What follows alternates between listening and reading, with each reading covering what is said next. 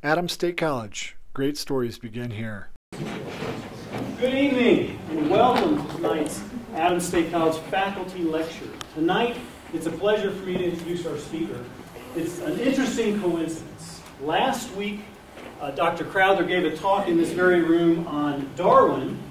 Tonight, he's giving one on Abraham Lincoln. Does anyone know the connection between the two? American? No. They were born on the same day. Not just the same day of the year, but the same day exactly.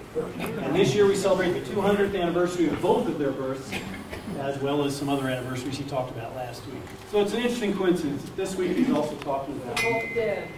That's, that's another connection. They just- I'm good with that. um, Dr. Crowther is the chair of the History, Government, and Philosophy Department. He's been here at Adams State College for 22 years.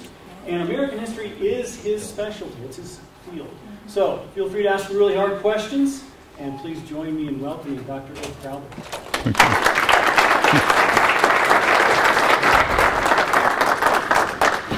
Well, thank you, Robert, for that generous introduction, and thank you all for coming out on uh, an early fall, which I hope is not a harbinger of the fearsome winter to come.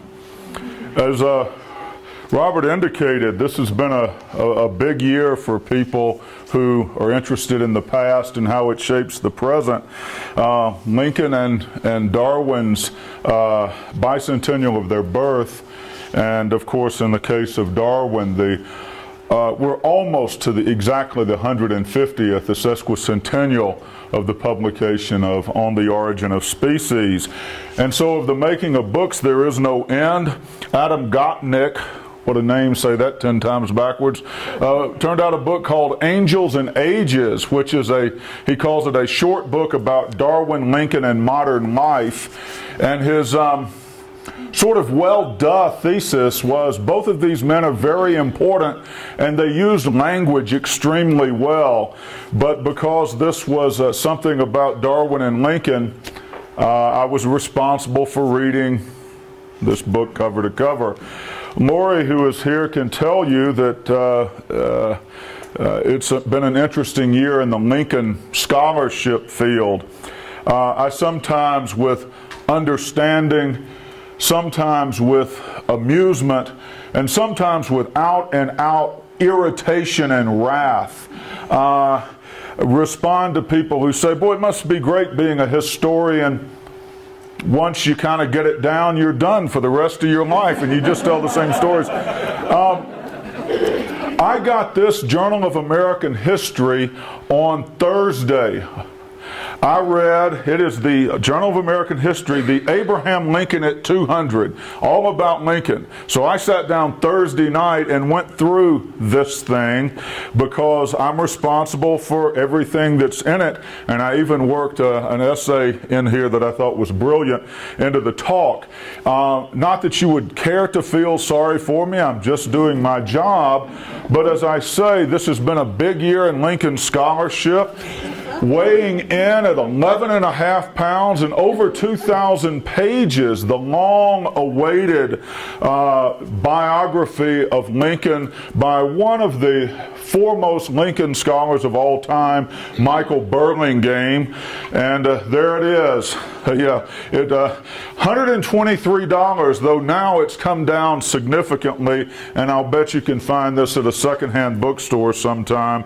And the truth is, uh, I, I made it halfway through the first volume and then read topically in the second volume on race, slavery, emancipation, and then another hobby of mine, Lincoln as Commander in Chief.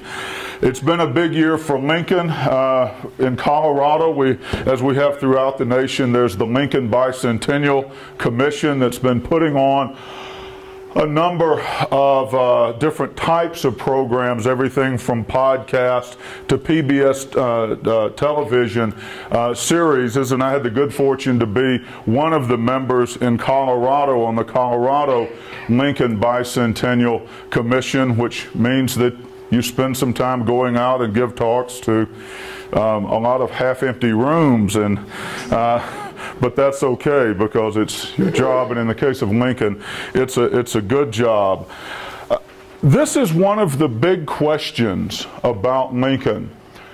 Because of Lincoln's place in what scholars call memory, how the past is utilized in the present, figuring out what to do with a protean, complex, uh, widely uh, recorded figure like Lincoln on these kinds of topics, race and slavery.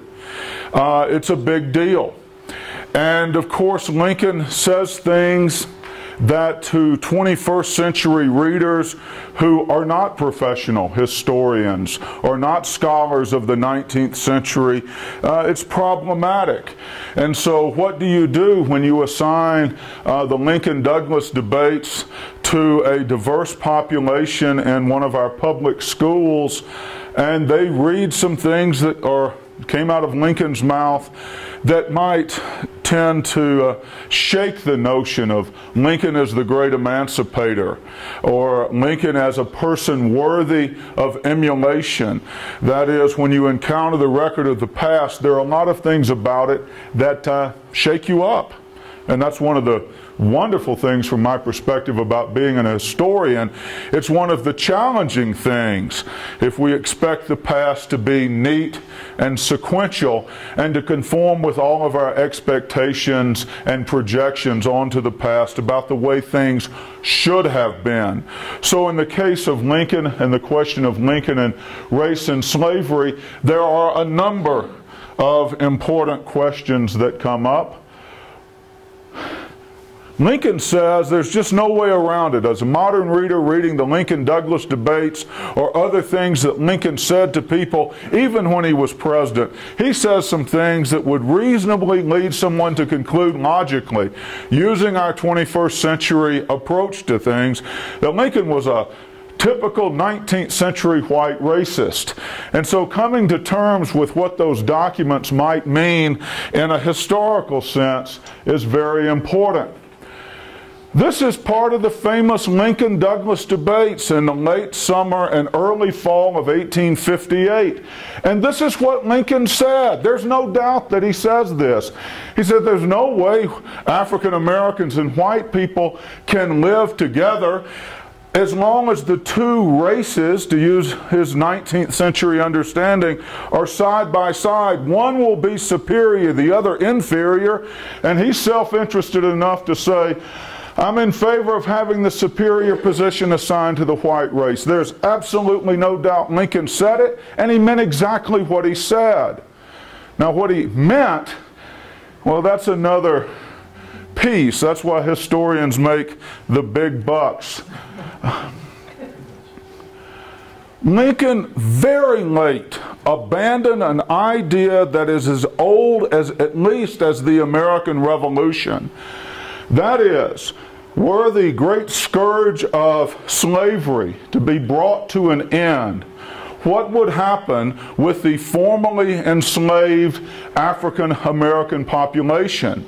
And an answer that took organizational expression with the formation, with its formation in 1816 of the American Colonization Society, the idea was to ship former slaves back to Africa. This is where the African country of Liberia comes from. Lincoln, throughout his uh, days, uh, utilized the notion of colonization, perhaps believed in it at one point.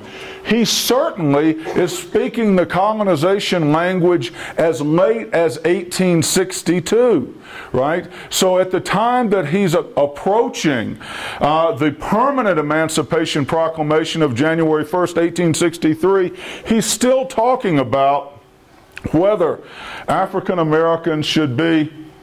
Uh, sent somewhere outside the United States should slavery as a result of the uh, United States Civil War be brought to an end.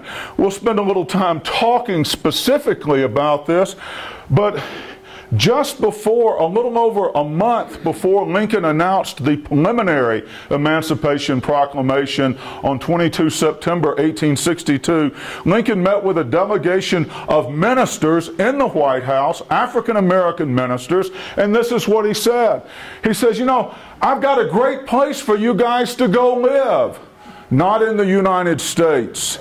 And uh, it's really going to suit you well. It's a warm place. You're going to like it a lot.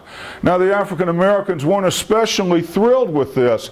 There's no doubt that Lincoln said this right as he is considering the Emancipation Proclamation. So, if you were um, going to uh, read the Lincoln surviving massive documentary record of Abraham Lincoln, Abraham Lincoln the president, you're going to encounter this stuff. And he did say this stuff, and he did write this stuff. Now, of course, historians have been grappling with with Lincoln, the real Lincoln, really since he uh, uh, since he died, and historians have um, tried to make arguments about the meaning. What did Lincoln mean? Was he a racist? Uh, did he did he really believe that African Americans and, and, and white Americans could not live in the same country? And so, if we look at the scholarship, what, what historians uh, have said about Lincoln. Some say, some, not most, certainly not all, but some say, forget the great emancipator. Lincoln is really the great enslaver. And of course, it's a Mississippian who says this. Lerone Bennett, who is from Clarksdale, Mississippi, he was born there when my father was the superintendent of the white school system. You see, Mr. Bennett uh, is an African American and a longtime writer for Ebony magazine. And his first sort of foray into this in 1968, he published an essay, uh, Was Lincoln Racist? in Ebony. You can look it up, Google it on the web, and you'll see that it made a splash worldwide. And later, he refined his argument into a widely selling book that appeared less than a decade ago called Forced into Greatness. The notion being if Lincoln had his druthers, uh, slavery would have persisted in the South. Uh, people, former slaves who became free would have been shipped off somewhere, and it was only the self emancipation by the slaves and the vicissitudes of war that led Lincoln to be seen as the great emancipator. So, this is one view that some adhere to.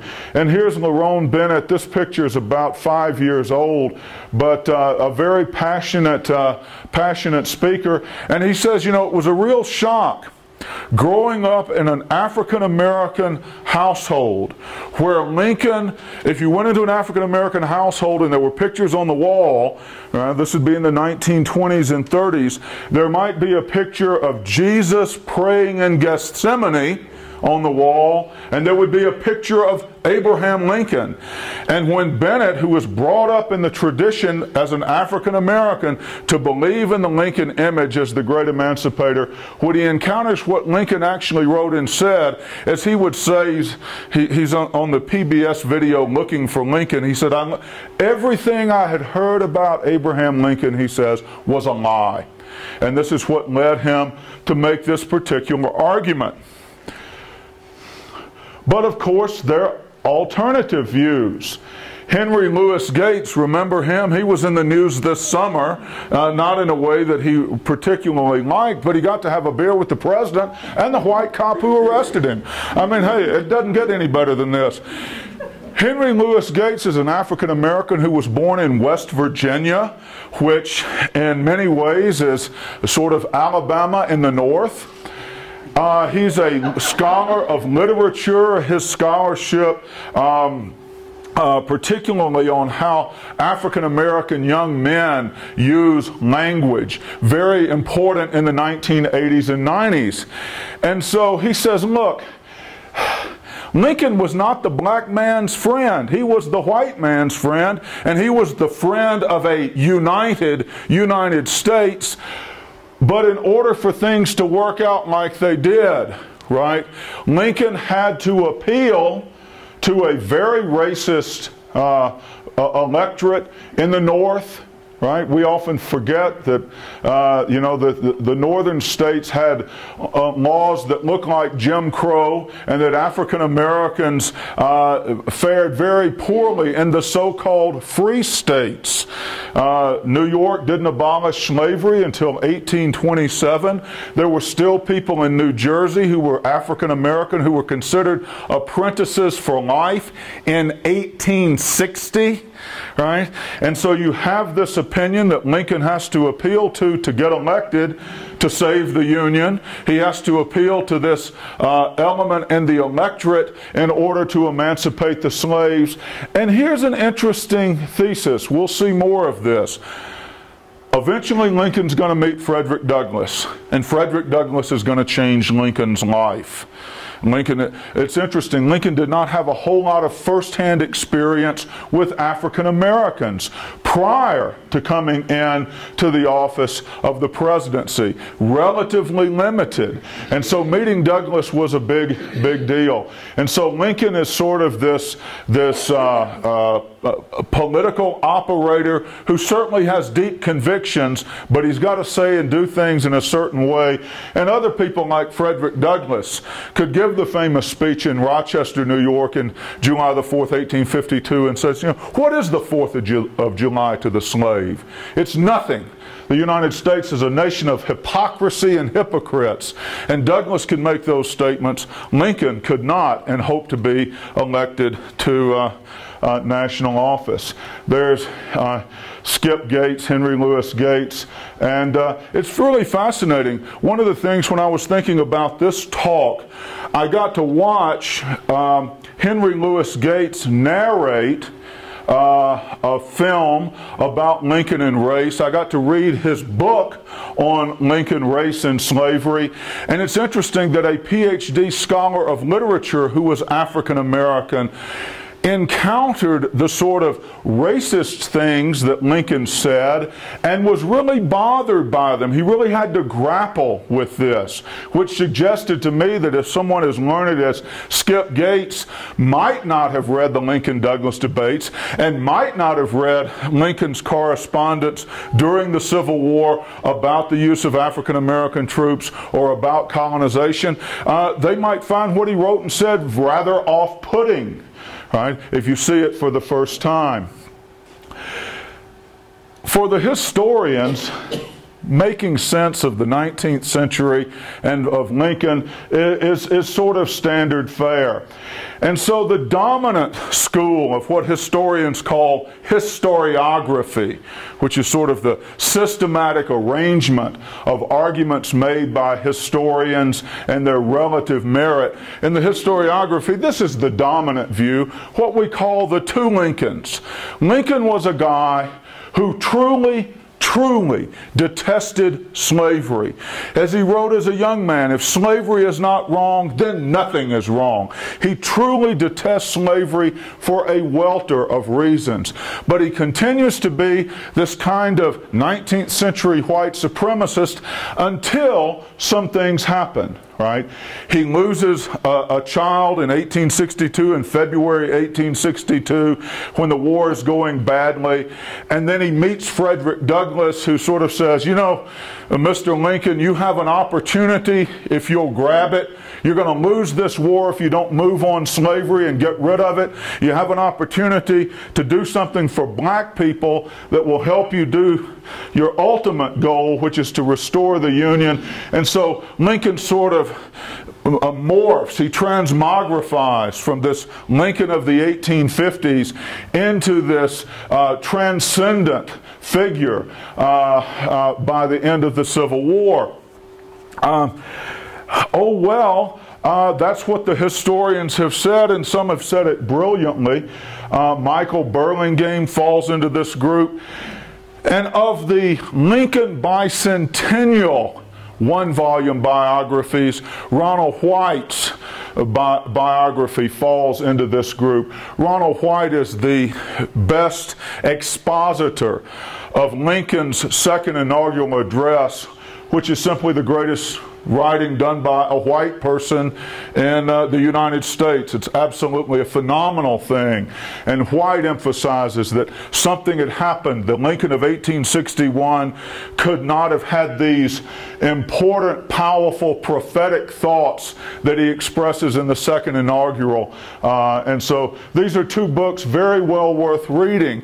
And they follow this basic line of interpretation called the two Lincolns.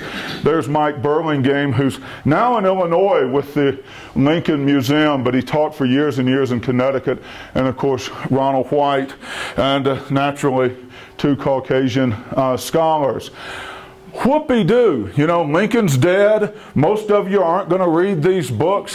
Why does it matter that we get Lincoln right? It's not getting right with Lincoln, it's getting Lincoln right. Who was Lincoln? And what did he really mean with all of this stuff that he said and wrote? I think this is a real strong piece Lincoln, compared to some 19th century white people, is relatively unspectacular on the issue of race. People like William Lloyd Garrison are racial egalitarians, and Lincoln is not. And so you can't say, well, you know, we need to remember that everybody was a racist in the 19th century.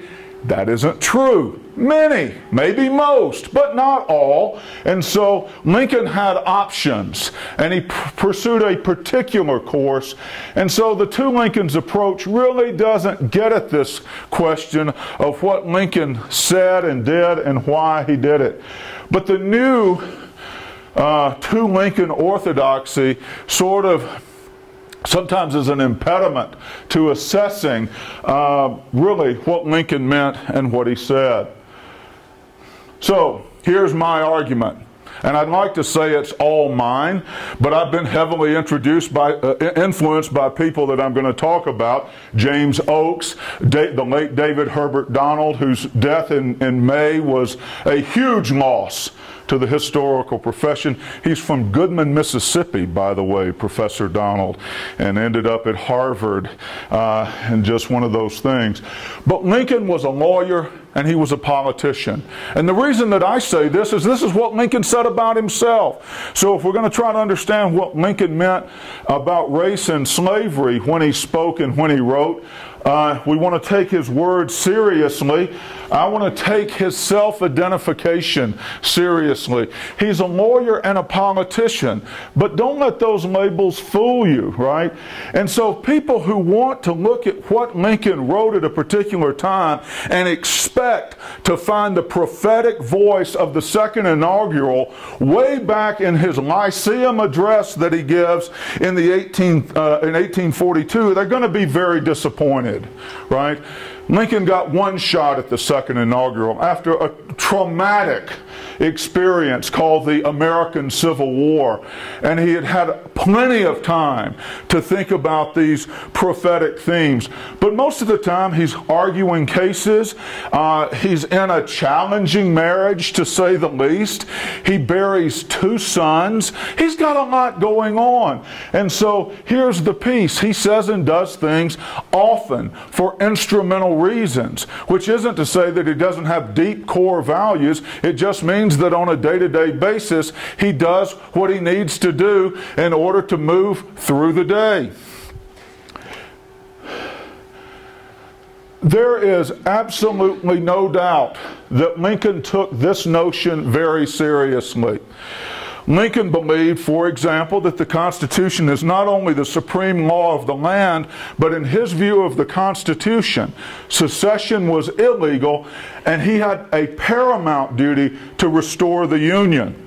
So if we like Lincoln, the winning commander in chief, we have to accept that Lincoln arrives at that position because of how he values the Constitution. And here's the piece. The abolitionists don't make this up. The Constitution of the United States made the federal government primarily responsible with returning runaway slaves. And so That's in, uh, you know, forget about the uh, all the other elements. Oh, it refers to other persons. It doesn't refer to slavery. It makes the national government, in a time of limited national government, responsible for protecting slavery.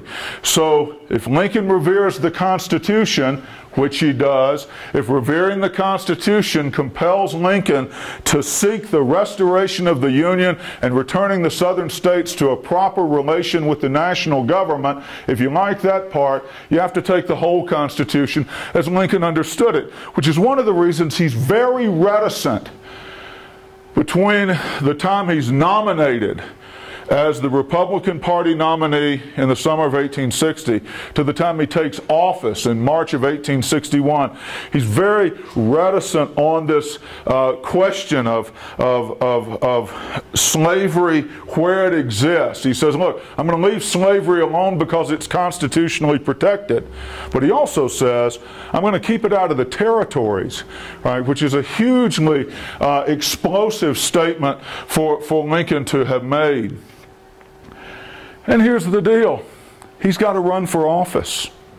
And so I, I, I, joke sometimes uh, with my own students. I say, you know, years ago I used to give talks about uh, Andrew, uh, Andrew Jackson, and there was some dispute about exactly where he was born on the North and South Carolina border. And so in South Carolina, he's a South Carolinian right? If I'm in North Carolina, he's probably a North Carolinian. People mute their message often to appeal to particular constituencies, and Lincoln, of course, has to do this. Remember, Lincoln is mostly being condemned by the Lerone Bennett's of the world for his public utterances in a political context.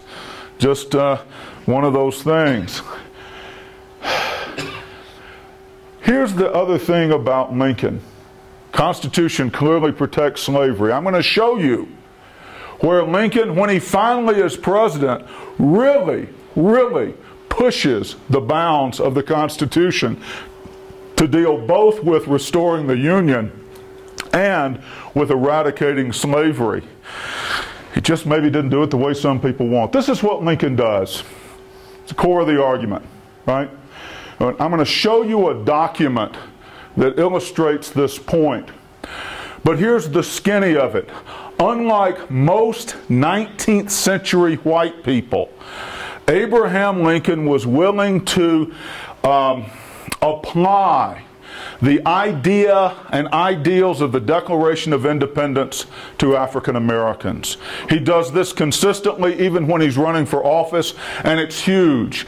Today, it might surprise you how poorly the Declaration of Independence fared in the minds of people like Stephen Douglas that say it only applies to white people because blacks are not capable of self government, and the people that I've written about, these Southern planters who think the notion of equality is plain silly. Lincoln sees the Declaration of Independence much like doc, Dr. King would identify the Declaration of Independence as a kind of a national creed, and he believes that in matters of life, liberty, and pursuit of happiness, it applies to African Americans. He says this consistently, and it is just short of revolutionary that he says this. So, way ahead of most white opinion on this point, and I've got a, a, a, a little document to show you. Uh, there. Um, he's able to use the notion of the natural right for a worker to enjoy the fruit of their own labor something that inherently impeaches slavery. He's able to take this free labor argument and craft it into a kind of political message that is politically acceptable to northern white racist voters, while at the same time it absolutely, if true, makes slavery an institution that is inconsistent with natural rights philosophy. That's not a small achievement right? You create an argument that the enemies of black people and black equality are going to embrace for their own self interest because it resonates with their own sort of common sense. That's, if not revolutionary, awfully close to it. Uh, This is incredible. The Constitution protects slavery, but the Constitution also says the President of the United States is Commander in Chief, and he used his war powers, right, uh, to move directly against slavery. The Emancipation Proclamation, for example, is, is justified as a policy because of the emergency that Lincoln is suppressing with military means because the Southern secession couldn't be handled as a kind of police action. And so he's going to confiscate billions of dollars of legal property through emancipation because he's commander in chief. No president prior to this time had made that expansive use of war powers. So that's a pretty powerful thing uh, if you think about it. Let's talk about this one. I showed you this piece earlier, the speech in 1862. I have to tell you, one of the delights about doing the job that I'm supposed to do is I get an opportunity to learn lots of new things. I had never read the, the, the record of the encounter of Lincoln with African American clergymen in August of 1864 in my life. I just never read it. I'd read about it, I'd never read the documents themselves. One of the cool things all of the major Lincoln collections are available online. The, uh, the standard Basler uh, collection, as well as the Robert Todd Lincoln manuscripts, which in their microfilm version were 93 reels of microfilm. We have them in the library, right? But now they're online and they're searchable. This is something, this is what I think Lincoln did. And I, I will tell you that I'm stealing part of this idea from a brilliant historian at Princeton University named Sean Wilentz. When Lincoln met with delegations, most of the time, unless he was really really, really mad at George McClellan. When he met with delegations most of the time, the people who Lincoln were, was meeting with did almost all the talking. They would, Mr. Lincoln, this, this, this, this, this. When Lincoln met with Frederick Douglass, he let Frederick Douglass do all the talking. When Lincoln meets with these African American ministers, he does all the talking. I wonder if there's a reason for this. Did he suddenly wake up and say, I'm in love with the sound of my own voice?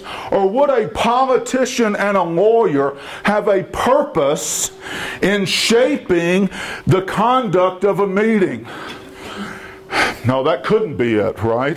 That'd be like an administrator waking up and doing something reasonable. That's not going to happen. Look at Lincoln's audience. African American ministers who are going to go immediately and talk to the black press. That is the full conduct of this meeting. Its content is going to be out there, and that's exactly what happened within a day of this meeting's taking place. But who do you think the audience might be? For Lincoln telling a bunch of black guys that he wants to ship them to Central America. White people. Right? He wants this out there because what's he thinking about? Thinking about the Emancipation Proclamation. He's got to have some cover, right? So he does this. Does that make him a, a monster? I'm certainly not going to make that argument. Uh, in uh, George M. Fredrickson, the late Professor Fredrickson's uh, words, uh, is he sort of being inconsistent? Well, perhaps. But of course, if you read what he actually says to the ministers, he's just floating a trial balloon. He never says, really, I'm actually going to do this. He says, I'm thinking about doing this, and you guys are going to love it if I do it. Of course, I hadn't said I'm going to do it. He's shaping the context in which a hugely important public policy is going to take place in the midst of the biggest national emergency in the history of the United States of America. That's pretty good. And then this is my personal, my, my favorite. I love this. How politics gets made. It's all about who gets to be postmaster in towns in Indiana in a particular congressional district. As late as August of 1864, Abraham Lincoln believed he would lose the presidential election of 1864. And thanks to people like Phil Sheridan and William Tecumseh Sherman, it didn't work out that way. But in the end, while Lincoln's victory totals about 55% to 45% is very impressive, when we break it down county by county, voting district by voting district, it's a near run thing, this 1864 presidential election. But Lincoln's able to run as the savior of the Union, and with the political capital that he has, he uses his political capital with the sort of post election bounce to push the Senate, the House of Representatives on the 13th Amendment. And he gets right down to trading patronage for votes. So when you think about all the things that he could have used his energy on, that he does it to end slavery forever everywhere in the United States, I think that's pretty telling. So there it is. Um, here's something else because it doesn't work this it doesn't work out. But Lincoln had a view for the reconstructed South that would be over, uh, overturned by the caprice of events, by a fatal case of lead poisoning, by John Wilkes Booth, and by Andrew Johnson, and by my white uh, progenitors in the Deep South. Lincoln believed that and this is going to represent a shift in his views from the 1850s, that African Americans would need to have certain kinds of rights, particularly the right to vote, if they were going to be able to give actuality to, give effect to, make the promise of the 13th Amendment robust. And so he pushed for this in a hugely challenging political context, the era of wartime reconstruction. The state to study, and it's the most studied state in Reconstruction, is the state of Louisiana. And Lincoln pushes the wartime governor there, Michael Hahn, who's actually from Bavaria. He's this big German guy, Michael Hahn. Yeah, he says, you know, if you can do this, but he realizes this is politically volatile.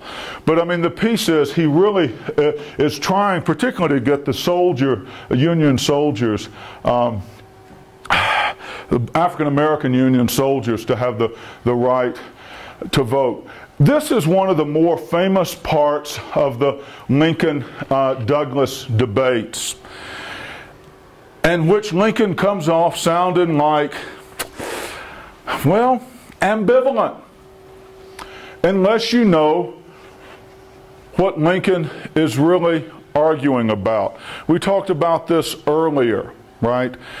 He believes the natural rights life, liberty, pursuit of happiness, really the right to enjoy the fruit of your own labor apply to African Americans as well as to white Americans. And in this view, Lincoln is initially, when he articulates this view, very much in the minority. But he's able to convince northern working class whites that slavery is a threat to free labor, and that makes this this go. So, but then he goes on down and he says, you know, I'm not sure that in other ways African Americans are equal.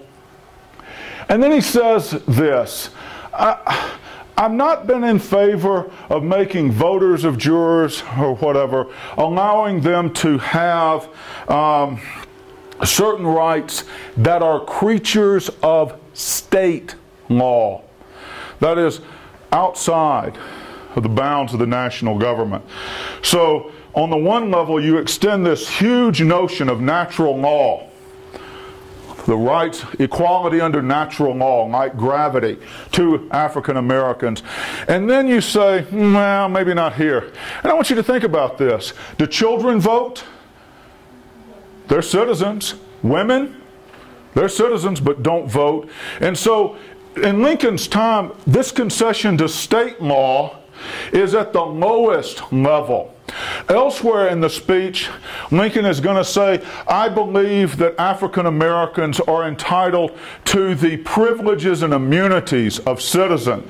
Not only saying African Americans by virtue of being born here and in defiance of the Dred Scott decision are citizens, they enjoy citizenship rights like trial by jury. So he absolutely right? Natural rights, citizenship rights. And for Lincoln in this construct, this is a lesser third thing. And this is where he's going to change his mind by 1865, right? So in the 1850s, he's already extended two levels of uh, the sort of construction of equality to African Americans in an unprecedented way, withholding the third the kinds of things that state governments do. And later, he's going to push the envelope there, particularly in the question of voting. So uh, it's no wonder that Southern whites during the Civil War really are afraid of Lincoln on race and slavery. They see him as close to revolutionary, even if sometimes contemporary scholars in our own day get caught up in what Lincoln isn't extending and forget how robust what he is extending really might be. This is a Lincoln's letter to Michael Hahn, and uh, you can even give you the citation there in the Roy P. Basler edition of Lincoln's Collected Works. I bought mine at a secondhand bookstore. Now it's free online and fully searchable. Oh well. But this is what he said. He said, Look, Slavery's done. And by the way, Mike, my at will appointee, Mike, Mike, if you can do this, work with the people in New Orleans and see if we can't do something about African American voting. This is what he's working on right at the as, as uh, at the beginning of uh, what we call the Overland Campaign in the Civil War with Grant fighting Lee, and then the invasion up the Red River. There's this southern part of Louisiana that's been in Union hands for about two years, coming up on two years in April. Uh, 1864. Uh, and so Lincoln is really trying with these sort of temporary civilian enterprises where the Union controls parts of the Confederate States, trying to get African American voting into the mix. And of course, a year from now, he's going to be very much, um, he'll be a month away from being dead. So the idea is, is that they're really not two Lincolns. He was as egalitarian as nearly uh, as, as, it was possible to be in the 1850s and in the 1860s. And when he has political power, he does some rather robust, important things, particularly the 13th Amendment. Remember, Lincoln is one person, right? He is the president. But there are lots of opinions that get to shape what happens to African Americans, on, or particularly on the question of political equality. And most of those people uh, are people that were wearing gray uniforms during the Civil War. Uh, historians, I guess, love books. It's, it's what we do instead of having wallpaper, we have books. But um, uh, books, uh, essays and books worth reading. Um, this is, I stole a lot of stuff from, from, uh, from Jim Oakes. But Eric Foner has a wonderful essay on Lincoln and the colonization question that is brilliant. And they appear in a book that came out almost a year ago called Our Lincoln. It's a set of thematic essays that are pretty easy to read, that are written by a particular specialist uh, uh, on, uh, you know, Richard Carwardine, who's this eminent scholar of 19th century religion, writes the essay on Lincoln and religion. Uh, because this is hot in scholarship, there's something about Lincoln and Frederick Douglass and that relationship that's really important. Frederick Douglass, in many ways, is going to create the, the, the great emancipator image. In 1872, African Americans raised money for, erect, the, was the first slide, a statue to Lincoln. And Douglass is going to give a speech dedicating that statue where he says, you know, my late friend Lincoln was really right on race and slavery. Now, if you think about this, this is Douglass, a contemporary, who in 1872 thinks, boy, Lincoln really was our guy. And so I, I kind of wonder, I mean, I guess what are we going to say about Frederick Douglass? He's a sellout to his race? I, uh, no evidence for that. I don't think so.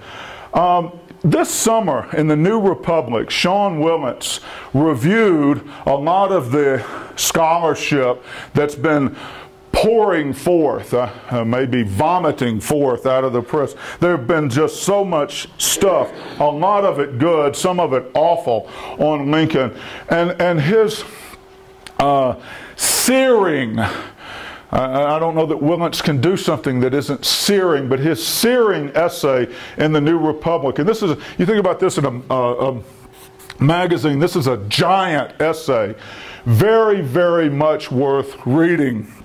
And so uh, here they, they are. This is Eric Foner's Our Lincoln.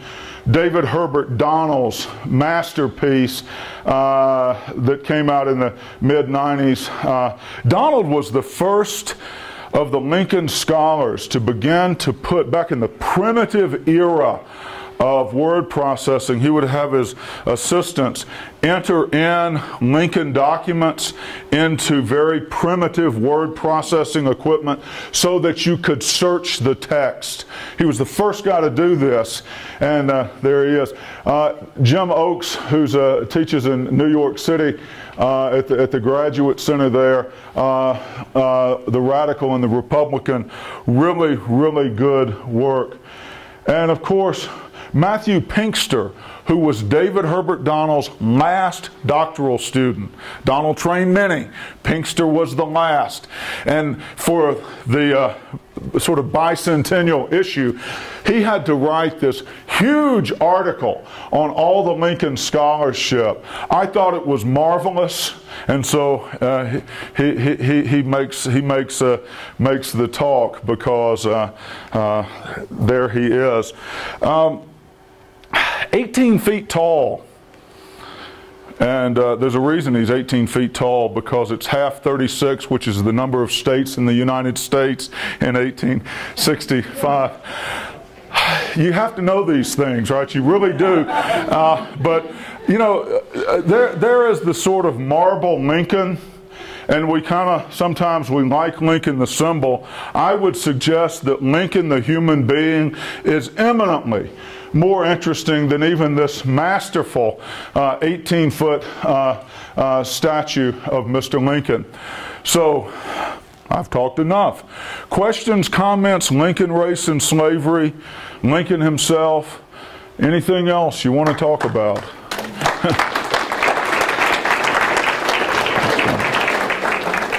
yes. Uh, you touched upon uh, Lincoln's statement, I believe it was his inaugural address about, you know, not affecting slavery where it already Right. I'm sorry, to me, that's a man of compromise. To me, that's not Yeah. a man that has made a lifelong commitment to, to abolish slavery. And I know you, you touched on the fact that it was in the Constitution to, to uh, you know, catch runaway slaves. And, and I, I'm sorry, I just, I just view him as a man of compromise. Yeah, and I mean, I guess that the challenge would be that then what would you think about a person who says, I think the Constitution protects slavery, I'm going to place my hand on the Bible to defend the Constitution?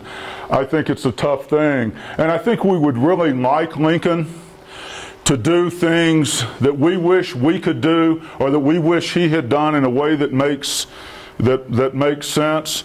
But if uh, if uh, you know if Lincoln moved against slavery where it was, where it existed, there's no way the Union would have prevailed in the Civil War. Four Union states have the institution of slavery. And as Lincoln would say, he hoped in this coming conflict to have God on his side. But he said, I must have Kentucky. And in the end, he moves very slowly against slavery and is able to keep Delaware, Maryland, Kentucky, Missouri in the Union. So in some sense, he's got a uh, he's got a lot of balls in the air. He's got to manage the secession crisis. Maybe the greatest achievement Lincoln did as president was holding the border. His decision to to call for troops in April of, seven, uh, of, of, of 1861, his decision to call for troops to put down the rebellion in South Carolina had caused North Carolina, Virginia, Tennessee, and Arkansas to secede something about slavery, and he probably loses the other slave states. And if you remember, New Jersey's electoral vote was split four to three. There's the possibility that lower New Jersey might have gone. I mean, so maybe he should, maybe he should have done something else, but uh, you know, historians looking at his decision-making process are, are, caught in the fact that he's not operating in a vacuum. He's got the Civil War. And, uh, and slavery is connected with that piece. Yeah. Yes? Great Britain's emancipation was like 30 some years before. Were there political and economic pressures on the states at that time affecting what we were doing? Of affecting, um, affecting the decisions that our, our states were going through? The biggest, the biggest impacts, and, and you know, let's let's first talk about uh, emancipation. British emancipation affects the Caribbean, not India. It's compensated emancipation.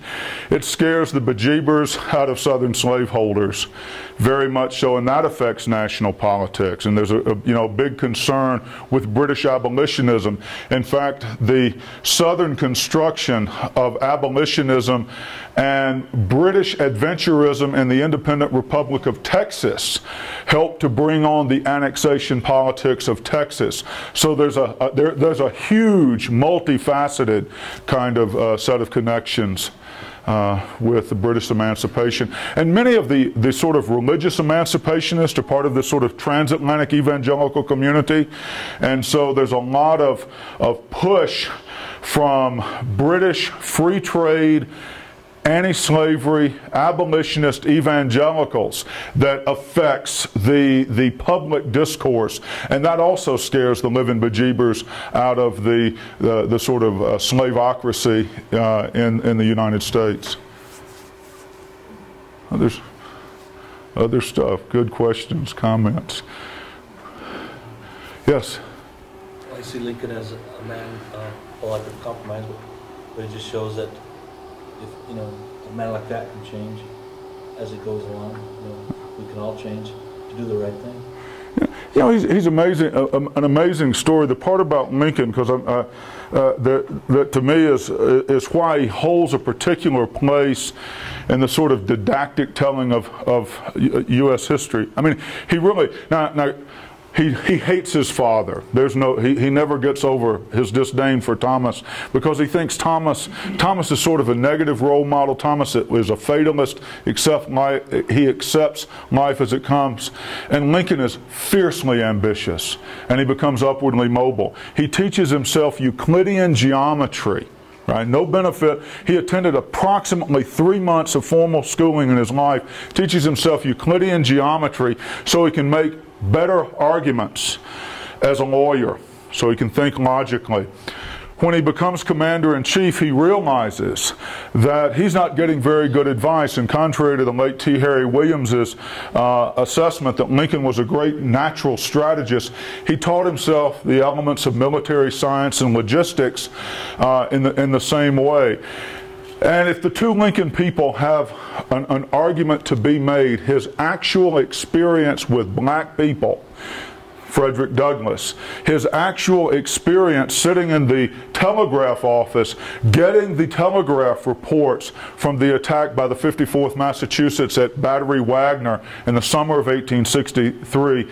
He has a lot of opportunity to move on the race question, and it's clear that he's entertaining by the end of the Civil War the notion of voting and other kinds of rights. So, yeah, uh, I, I, think it's. Uh, a, a, neat thing about Lincoln is that you can find these examples of development and betterment, although they don't always cut in linear directions. How do you, you know, Lincoln sometimes almost is too ambitious. You know, it's like, God, this guy really wants to be somebody. And sometimes that doesn't set with our views about, oh, we'd like a person to be a little more mellow. Because he really does have the fire in the belly to move up and to make a mark. He really wants to be elected president, right? And, and yeah, self taught. Yeah, it's amazing. Yes? Two questions. First, the significance of Northern white labor's fear of emancipation. Yeah, uh, you know the the piece is, and, and, and there's a there's a there's a new book out by I can't even remember Chandra Manning's married name, but it's called "What the What This Cruel War Was Over," and she tries to make an argument that you know, emancipation, uh, the northern labor, northern soldiers, man, they're into this emancipation from 1861 on. I don't think so. I think that's a real fear. Uh, so much of fear, a little story. Um, the first hardback edition of Harriet Beecher Stowe's Uncle Tom's Cabin uh, has in it one of these gripping tales called Eliza's Flight to Freedom. She's got she's a, an enslaved woman. She's running for freedom. She's got her infant who she doesn't want to see grow, uh, grow up as a slave, and the dogs are chasing her, and she jumps into the ice choked Ohio River. Now, you read the text, and she's described as a very dark African. She's whiter than I am in the illustration which suggests there's a real concern about, you know, what's going to happen. If, if we get rid of slavery, they're going to move up here and compete with us. And there are huge pockets, not just in the butternut regions of southern Ohio, but the, the laboring cl uh, class in, in, in New York City, that for a welter of reasons are racist and they're immigrants, they don't want the economic competition. I mean, you know, when you think about it, um, most uh, uh, Lincoln prevails in the Electoral College in 1860. Northern white working class voters do not, it's close, but most vote for other candidates in the 1860 election. When they become soldiers, things change. And when they realize that if we get rid of slavery, maybe the war will stop and we won't have to die. And oh, by the way, if we can recruit 200,000 African Americans to go get shot up by General Lee, uh, there's, a, there's a movement there too. And one of the great sort of um, lost opportunities is there's no one to direct that northern uh, multifaceted anti-slavery kind of sentiment into an effective reconstruction once Lincoln's assassinated. You know, that's the sort of what if Lincoln had lived. So that's one. What's the other? He some early losses in his career. Early on, what was his he, he was always against slavery. There's a early on, Thomas sent him down to New Orleans, and this was his first uh, experience. He, he took a, a flatboat uh, of goods down to New Orleans, and then walked back um, uh, uh to to Indiana. And, and he despised slavery. And here's the piece about his father. You know what Thomas would do with Abraham Lincoln's money?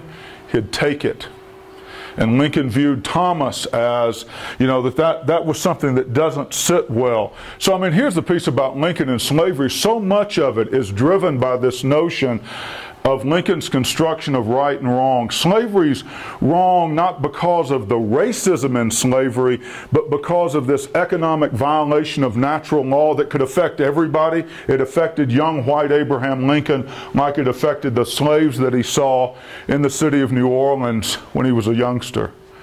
So, yes. In an imaginary world, fix the states before pre-Mexican War, is, are the issues big enough to have civil war? People thought there, that, that there, there was. There's a, there's a new book out by a, a brilliant historian at, uh, at, Temple University, Elizabeth Varon. Um, and uh, read the footnotes. She says nice things about me. She's the only one. But the book is entitled Disunion, and it, it looks at this question. There is a powerful current out there that goes back to the Constitutional Convention. And that is if you move against slavery, Georgia and North Carolina are not going to ratify the Constitution. Agitation about those kinds of issues, and they do, uh, it, it, it, does, uh, it, it, does uh, percolate. Um, is seen as threatening the Union, so we don't talk about it. Even with that, Timothy Pickering, who had been a Secretary of War in the Adams cabinet and leader of something called the Essex Junto in, in Massachusetts, literally wants to take uh, New England out of the Union because they fear the, uh, the diminishment of their political influence in an expansionist country moving west and also in a country with the three-fifths compromise that they construct as maximizing the voting power of southern slaveholding whites.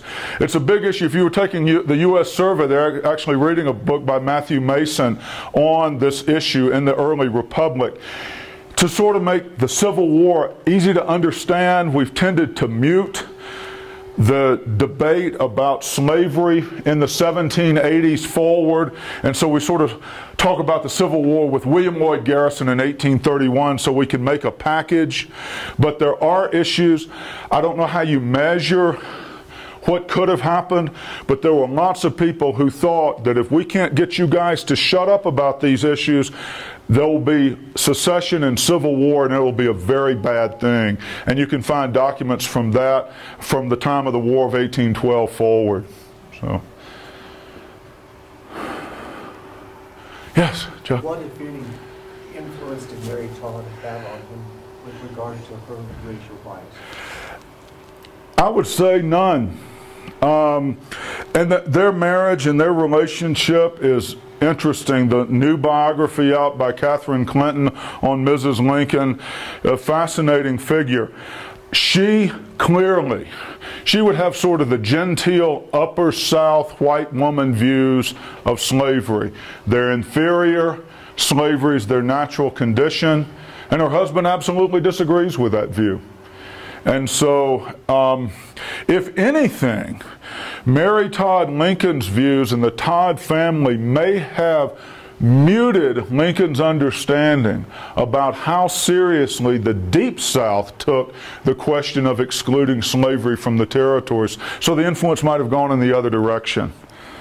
Uh, another thing worth reading on the on the marriage, it's a, a volume called The Insanity File uh, on on Mary Todd. Uh, Lincoln, who's truly, I mean, there's such a thing as a tragic figure. She's a she's a, a tragic figure, and you know your your son tries to put you in the nut house and when your lawyer tries to defend you, the state of Illinois passes a law that says a woman can't be a lawyer, and that case goes all the way to the Supreme Court, and the Supreme Court says you're right. It was tough being Mrs. Lincoln.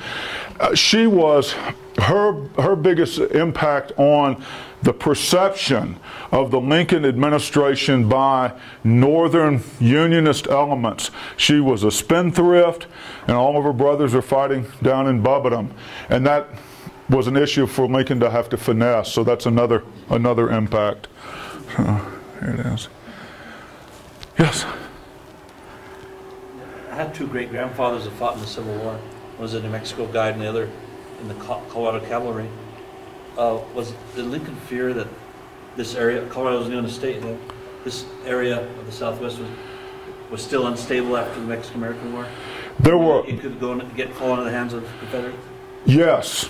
And the first thing that happens right away, absolutely right away, Jefferson Davis had made the Butterfield Overland Express route run through the South in the sort of U and then go back up to California.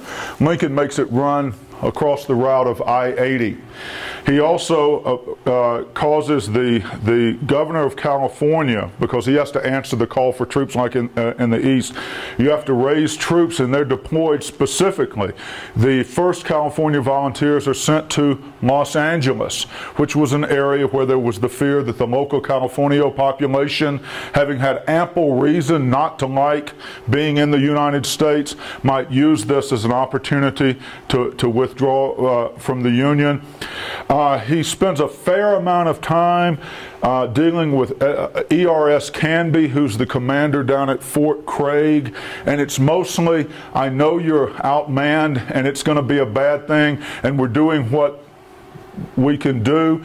He actually holds up the deployment of troops when uh, when the Texans invade New Mexico in 1862 that would have gone and fought at the Battle of Shiloh. So there, there is this piece.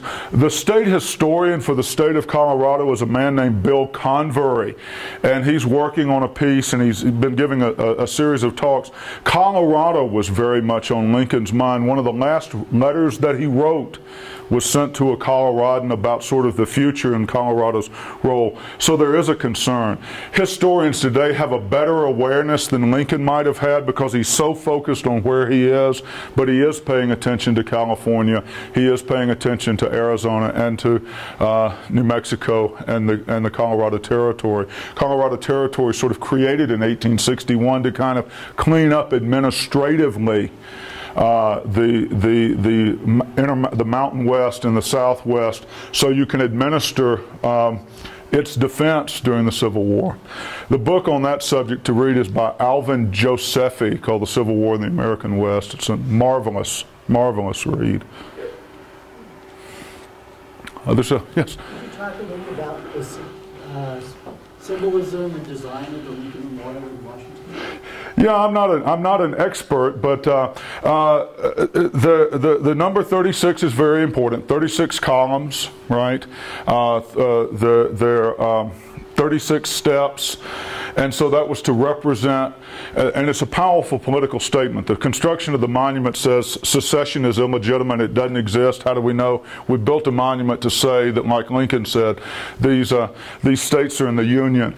Uh, the statue here, and I think his name is John Charles French, is the, is the artist here, and it's an attempt, this is a fascinating piece, to make the plain-clothes Lincoln sort of Romanesque sort of in that, uh, uh, that, that, tradition of civic humanism. And so that's, that's uh, another, another element. One of the fascinating things today, if you go to Washington, D.C., you want to talk about an interesting symbolism. The Lee House which is on the Arlington Cemetery grounds, overlooks the backside of the, of the uh, memorial. And of course, it was Postmaster General Montgomery Meigs, who had lost a son in the Civil War, that said, I'm going to start burying dead people here, right? And uh, the Lees will never want it back. The, uh, here's something I should have mentioned, and I just didn't, well, you could go on about this forever. Um, Coming back from Gettysburg in November 1863, Lincoln goes to Gettysburg just himself and his valet, a man named William A. Smith. Coming back, Lincoln gets a cold. William A. Smith, who works for the Treasury Department, gets a severer cold. For a while, Lincoln is having the Treasury Department send money to William Smith, who's Lincoln's valet, uh, to the White House, and Lincoln is managing his affairs. William Smith dies. Lincoln has him buried in Arlington Cemetery. He's right up by the Lee House. The marker says Lincoln picked the words William A. Smith, citizen. William A. Smith was African American. So it's a, another one of those powerful symbolisms. So I, am not much of an expert on. I know where the marble came from, but uh, and I know the number 36, and you have the. Uh, that's about it. Okay. Yes. As as Grant was moving on Rich, uh, Richmond, Sherman's burning through the South. Lincoln got a premonition of success. How was he really going to reintegrate the South? I mean, what was yeah. his ultimate goal for for selling what he had spoken about? One one of the areas where I think Lincoln was misinformed because reality was too hard to contemplate, and where he probably didn't learn all that was available to learn from experience. Lincoln, as a Republican, believed that slavery is not only a bad thing for workers. It's not only a bad thing for uh, northern white workers, it's a bad thing for southern white workers. And so, if we could just eliminate this conspiratorial minority of secessionist planter plutocrats, then the white people would be just like Lincoln. They're going to be upwardly mobile, value free labor, and lots of things are going to be possible. I don't know that today a historian reading about uh, uh, racism in, in the American South can do an adequate job with the benefit of hindsight. Lincoln clearly he, believed in something he called voluntary self reconstruction. So on the 8th of December 1863, when he issues his proclamation of amnesty and reconstruction, he says the, you know, the famous 10% plan. If 10% of the eligible voters will just take an oath of allegiance, why only 10%? Well, he thinks that the vast majority of Southerners are loyal United Statesians, and, and, and they'll agree just, I don't think he could come to terms with the kind of racial antipathy where Southern whites would trade poverty for a long time for white supremacy. So, uh, yeah, that, that, it's, an, it's not a happy story. Uh, and, and I think Lincoln just the book to read is uh, Eric Foner, Free Soil, Free Labor, Free Men, The Ideology of the Republican Party. And it looks at the kinds of ideas that Lincoln had about the South. And the South was seen as defective, but also redeemable. And Lincoln lived at a time when we had been able to talk voters out of booze. We were moving toward prohibition with the Maine law. Uh, ministers had talked backsliders like myself back into church, and the idea was if we just explained to Southern whites how they would benefit from free labor, things would would just right themselves, and it, and it didn't work that way. And uh, you know, there are parts of I mean Reconstruction. That, that's we love talking about Lincoln. Reconstruction is what we ought to talk about, and it's hard and it's painful and it's complex. There are whole parts of the South that were never militarily conquered, and there they said, Lee surrendered. I didn't. And from the very beginning, they resisted attempts by more moderate white Southerners uh, to enter into Reconstruction. And in the end, uh, they're, the, they're, the, they're the element that, that's going to win Reconstruction. You know, the Union prevails in the Civil War, and there's the 13th Amendment, and that's huge. The white South won Reconstruction, and it's not even close. Yes do you think the concept of defeat that the South has, that no other real part, no other part of this nation really has, did that play a role? I mean, yeah, yeah. Was it the racism or was it just bitter hatred of the North? It's it's all of those things. There's all those things. There, there was a song that was sung, and I'll spare uh, the, the, this. I, I, do this for my class, but the third verse of the it's called "I'm a, I'm a good old rebel soldier," and the third verse is uh, 300,000 Yankees lie still in southern dust. We got 300,000 before they conquered us. They died of southern fever of Southern steel and shot, but I wish it was three million instead of what we got. So there's a powerful element there. I mean, the white South, and you know, it's it's it's easy for us today to to demonize the white South and to make the comparisons with Nazi Germany. The thing, and you've heard me say this, Mr. Texan, if you had lived in the 1860s in Mississippi, you would have acted like a Mississippian. They saw themselves as the true heirs to the American Revolution, practicing a social arrangement that is as old as the Old Testament. They see everybody else as being the ones that are departing from the ancient landmarks that their fathers have set up. And so there's a real resentment there. And then you add to it the defeat, and then you add to it the emancipation, and it's a hugely bitter pill. Although one of the great ironies, if you read the letters from the, uh, the soldiers in the Army of Northern Virginia, when they surrender, when Lee surrenders the army in April 1865, they are prepared for dramatic change. Many think they're going to be marched off to prison camps. And it's the assassination of Lincoln and then the change of message by Andrew Johnston, uh, or Johnson that emboldens these people then to try to reverse in reconstruction what they had lost on the battlefields in 1864. Yeah, so just one of those things. Other stuff. Let's take time for one more. Is Okay. one more question? I think they've had it, Well, Robert. thank our speaker one more time. Adams State College. Great stories begin here.